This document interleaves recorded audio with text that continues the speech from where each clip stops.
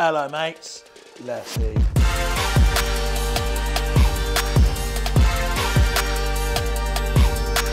Hello, boys and girls. Today we are going to be making a lovely risotto. We're going to be using some peas. It's going to be delicious, and I can't wait for you to see it. First thing we're going to do is we're going to prep the onion. We're going to cut it nice and thinly, dice it, and we're going to get it sweating in the pan. Okay, so I'm going to chop the onion in half, but I'm going to leave this core end on because it holds it together really nicely and it means you can chop it nice and fine. Okay, so initially we're going to chop it down this way, really nice and thin. But we're not going to chop it right to the end. Again, we just want that onion core to hold it all together so it's much easier to chop. And do as many as you can and as finely as you can until you get to the top. Once you get to the top, we're going to do the same thing, but we're going to do it lengthways. Again, as finely as you can. Very, very important to have a sharp knife when you do this. If you don't have a sharp knife when you do this, it's not going to work and not going to be easy for you and you're going to find yourself kind of mashing the onion rather than chopping it. And the final chop we're going to do is down the length like this. And then you'll see that it's super, super nice and fine. You may have noticed I haven't had any goggles on or any spoons in my mouth and that's because I'm double R, but you're welcome to use it if you need it. Once your pan's as hot as Halle Berry, get your oil in and start sweating them onions.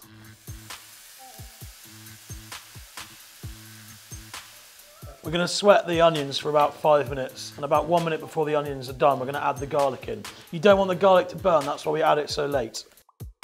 You can chop the garlic if you want, but I much prefer to do it on a grater. It's much more straightforward and much more simple. Takes less time and you won't cut your finger off. Once the onion's got a little bit of colour, we're going to add the rice in. Things are going to happen quite quickly now. Rice is going to go in for 30 seconds. We're then going to add the wine and then we're going to add some stock. So quick, quick, quick. Trying to think about why you add the rice at that point because it seems like you should add it when you've added some stock, but you don't. You just add it then and that's the way that you do it. So once the rice has been in for 30 seconds or until it's turning a little bit translucent, translucent uh, you, we're going to add the wine. Not all of it though, have a little bit yourself. And if you don't pour yourself a glass now, there's something wrong with you. So get it topped up some.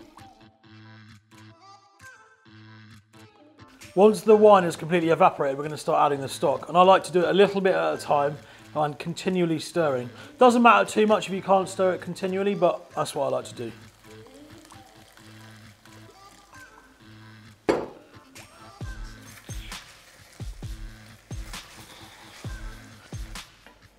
Okay, so once you've added a little bit of stock and it's completely evaporated, that's when to add a little bit more stock. But get in there, look how good this looks already.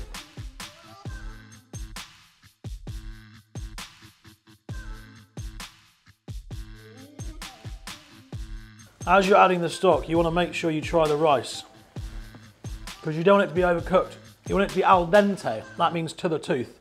So now we've got the base of our risotto, we're gonna add some big, big, big, boy, big boy flavor.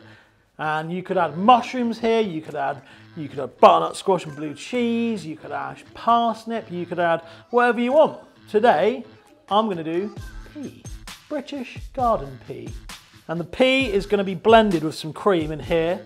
My mate Russell is gonna help us out. And yeah, we'll add that to the risotto and that'll be it, I think. It won't be it, but we'll carry on adding more stuff. You wanna keep a couple of peas back for a little bit of presentation at the end, especially if you're on a date and you wanna impress a boy or a girl.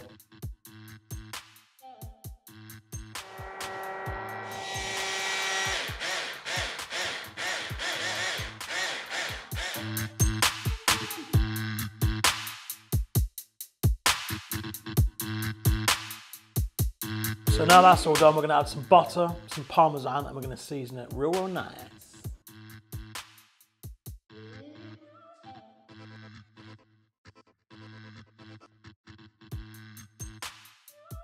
Just remember, you might want to add a bit of stock at the end to loosen up the consistency. Obviously I don't need to because I'm a proper legend. All right, so time to play up now. Grab your bowl and we're gonna add some in.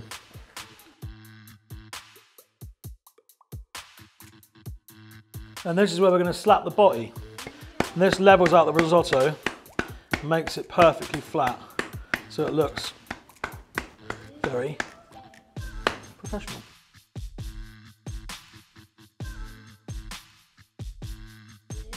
Okay, so that's my pea risotto done. Should take 20 minutes from start to finish. It's really a lot easier than people think. Give it a bloody go.